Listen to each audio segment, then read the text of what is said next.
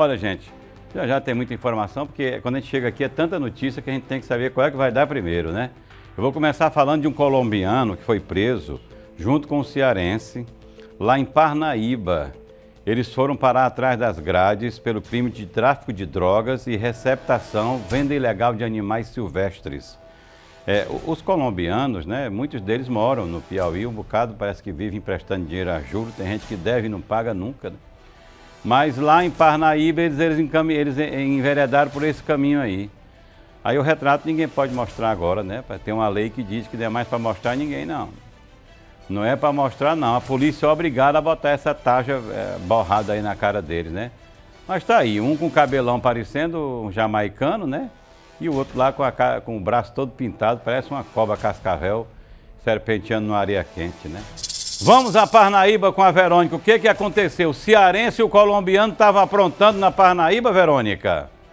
Um colombiano e um cearense foram presos no litoral do estado do Piauí, suspeito de cometerem vários crimes. A prisão dos dois foi efetuada por uma equipe chefiada pelo delegado Herbert Santos, da segunda Depatre do município de Parnaíba. A equipe investigava o roubo de uma sinuca que aconteceu no bairro João 23. A sinuca era avaliada em 5 mil reais. As investigações apontavam que uma pessoa no bairro Santa Luzia havia comprado a mesa de sinuca. Chegando à casa dessa pessoa, era um colombiano o João Felipe Lodono Parra, de 23 anos, e o cearense Francisco Antônio Oliveira Simplício, de 20 anos, natural da cidade de Camusim, no estado do Ceará. Eles foram autuados em flagrante pelos crimes de tráfico de drogas, receptação e venda ilegal de animais silvestres. Os dois homens foram conduzidos à central de flagrantes do município de Parnaíba para procedimentos cabíveis e irão passar pela audiência de custódia.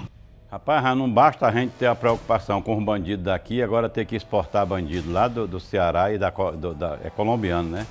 Eu vou te falar uma coisa, viu? Parnaíba é, é uma fronteira muito perigosa, porque vem do Maranhão e vem do Ceará.